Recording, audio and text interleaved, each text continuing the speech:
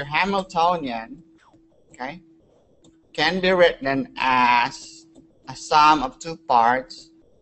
Let's call that H naught plus H prime, okay, such that you know what the eigenfunctions are of H naught. In other words, you know that H naught psi naught equals E naught psi naught.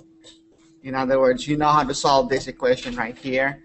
So these these wave functions, psi naughts, would be your, what you would call your zero order wave functions, and the energies here are your zero order energies. You call them zero order because those are just approximation.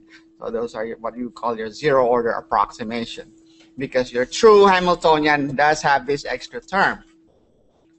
Okay.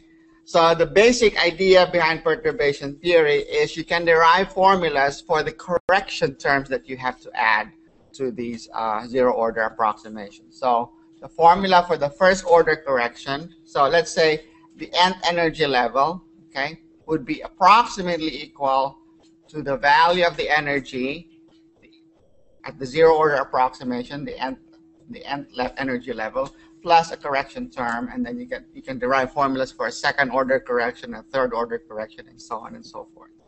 Okay, and what we said last time is that you can show that the first order correction term for the energy, okay, will just be equal to this integral right here.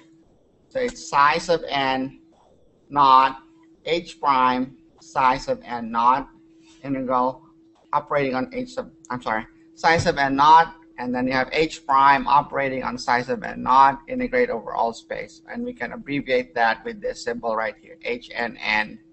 And then the one here simply indicates that you're dealing with the first order correction.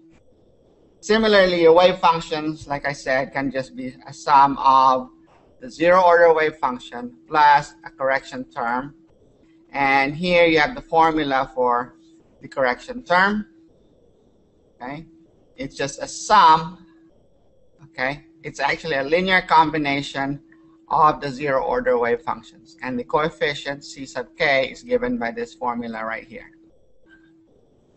Okay, so let's go and then you can do second order corrections. Also, let's illustrate this with this problem right here, the next problem.